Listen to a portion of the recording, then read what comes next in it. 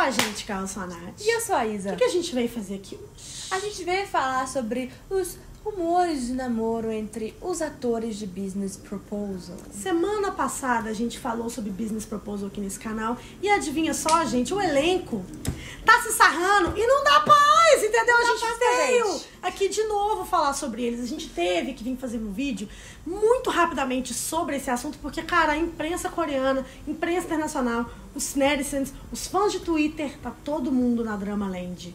Atento.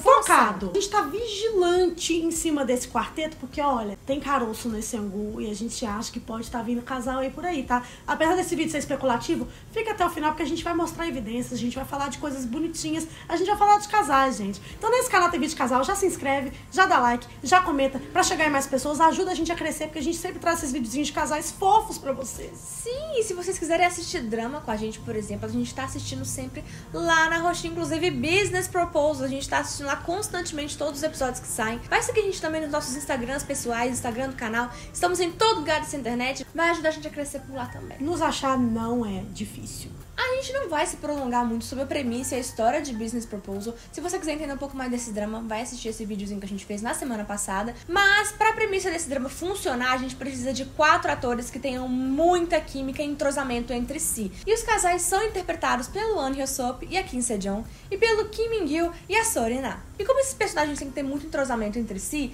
a galera já começou a olhar que até por trás das câmeras o entrosamento também tá muito visível. A, química é muito visível entre esses dois casais e a galera tem começado a suspeitar que tem mais do que amizade aí rolando. Obviamente o dorama não iria se sustentar, literalmente um dorama sobre dois grandes casais, se não houvesse química, amizade, cumplicidade, uma boa troca entre esses atores. Nada iria funcionar. Então, obviamente, estamos falando de quatro atores muito bons, que tenham aí vários dramas legais no currículo e que estão fazendo um trabalho maravilhoso. Mas o problema é que quando a gente vai olhar isso extra cena, extrapola um cadinho do que era necessário. Só a química que ele já mostra pra gente na tela já tava bom, mas não, gente, eles não param de postar foto no Instagram do outro, não param de comentar em fotos, se mostrarem muito amigos. E, cara, cada dia os indícios estão maiores. A gente tava pensando, será que eles vão falar? Especulações não param. Então a gente vai começar agora analisando o nosso casal secundário, né? Composto pelo Kim Min-gil e a Sorina, que interpreta aí o secretário Hun e a Yeon-soo. E esse é um casal que mal chegou, mas todo mundo já considera pacas, porque, sério,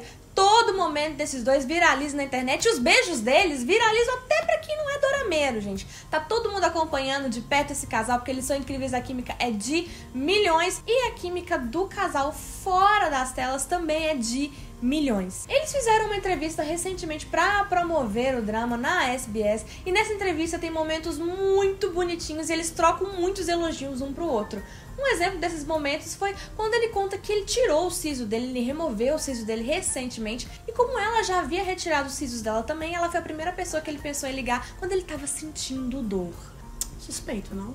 Eles também falaram sobre a primeira impressão que eles tiveram do outro.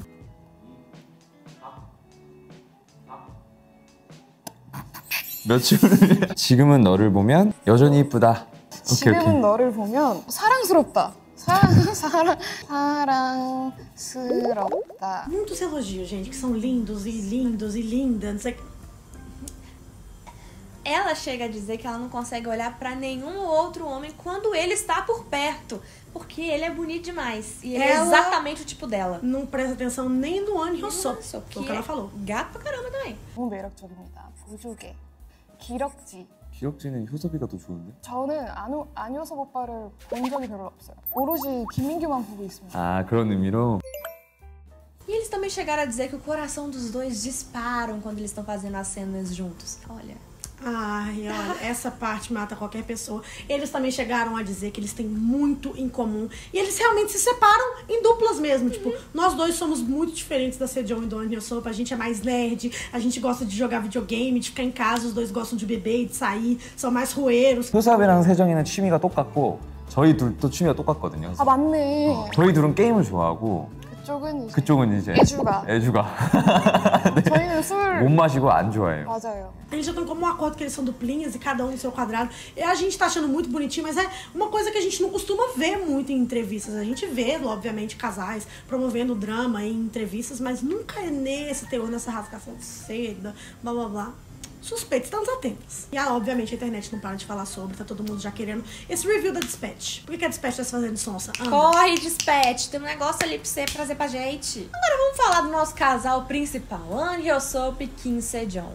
A química dos dois é de milhões, as interações dos dois extra-câmera são sempre muito naturais, muito espontâneas, e isso vem conquistado toda a audiência desde que o drama estreou. Mas na recente entrevista que eles deram pra Marie Claire da Coreia, eles chegaram a comentar sobre um filme que eles gostam em comum, uma comédia romântica que é a favorita dos dois. 어바웃타임 좋아해. 아, 어, 아, 나 진짜 좋아하는데. 너 그래? 어때? 어. 너 어바웃타임 최애. 내 인, 인생 영화 중 하나. 어, 우리 이 얘기했던 것 같아. 맞아, 맞아. 했었어요. 어바웃타임 맞다. 맞아, 맞아. 맞네.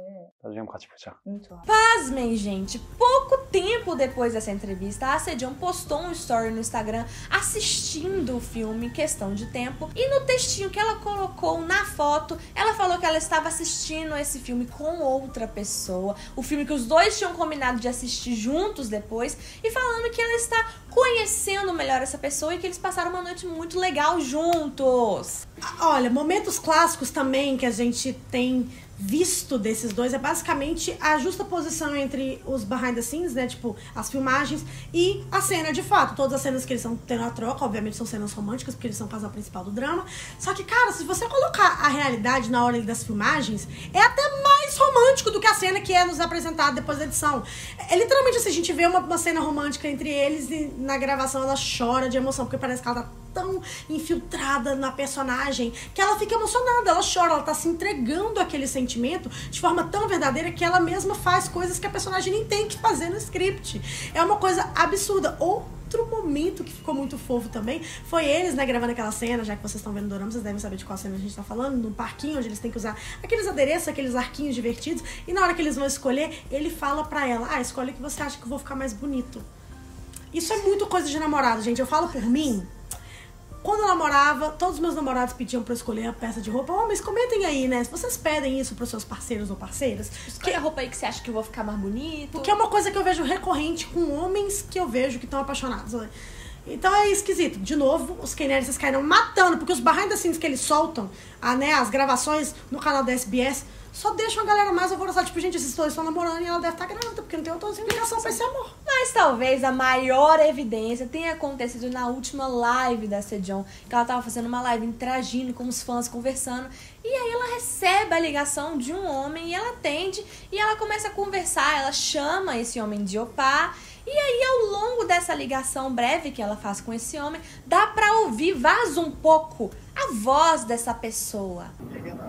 되게 밝았어요, 항상. É a voz do Hyosoo! É a voz do Hyosoo. É Não isso. tem o que dizer. É a voz do... É a voz dele. É a voz dele.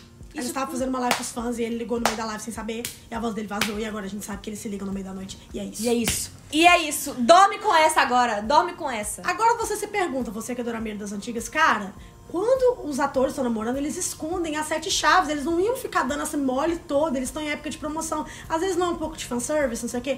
Mas uma coisa que dá pra perceber, principalmente no relacionamento da Sejong com a An Hyosop, é o seguinte: a Sejong agora abandonou mesmo essa carreira de idol, já que ela desbandou. Ela só faz música OST ou solo, então por prazer é uma carreira um pouco mais livre. Já o An Hyosop foi um menino criado no Canadá. E todo mundo que tem contato, eu tenho experiência direta, né? Já me relacionei com um homem coreano que morou muitos anos no Canadá. Eles são muito diferentes dos coreanos legítimos, aqueles que foram nascidos e criados em solo coreano. Eles são mais libertos, eles não ligam tanto pra essa coisa de esconder namoro, É. de, de essa coisa, porque o coreano é muito reservado, eles só contam quando é uma coisa muito séria, tudo muito pessoal. Nada. É uma galera que cresceu no exterior, eles têm. Eles são um pouco mais libertos dessas amarras que a sociedade coreana impõe pra galera que cresceu lá. Então a gente pode estar pensando que talvez, como a Sejong tá um pouco afastada dessa vida de idol e o An Hyosop cresceu no Canadá, talvez eles estejam vivendo um relacionamento um pouco diferente do que a gente está acostumado a ver entre atores. Então talvez eles estejam querendo expor um pouquinho mais, ou não estejam ligando, Ligando. caso eles fossem expostos. E se você me perguntar, nossa, mas é muito bom pra ser verdade, então tá, temos quatro protagonistas e todos estão namorando.